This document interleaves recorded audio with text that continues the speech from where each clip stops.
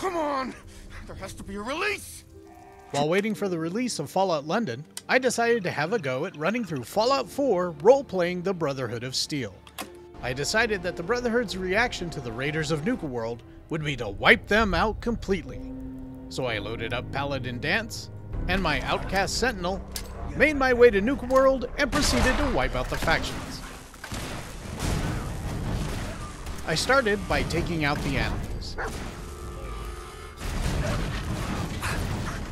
Cleared the market.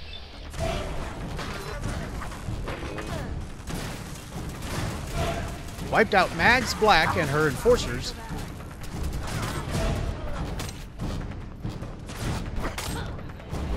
Made my way to my mountain base.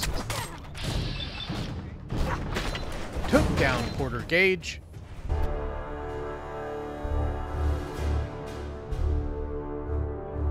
Repaired my armor, and finished up by wiping out Nisha and her disciples.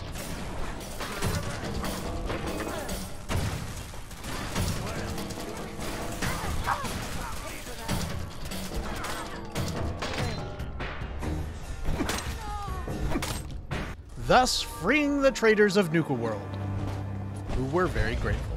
The raiders keep talking about bloodworms. Mackenzie, I Boss, never find out I- what those are. I can't believe it. You killed the raiders. All of them. I have to ask, why? you and the other traders were being treated like slaves.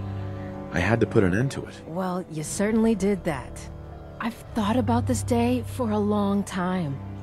Dreamed about it, really. Though I never thought I'd see that dream come true. Now that it has, I'm left with a question that I don't know the answer to. What happens next?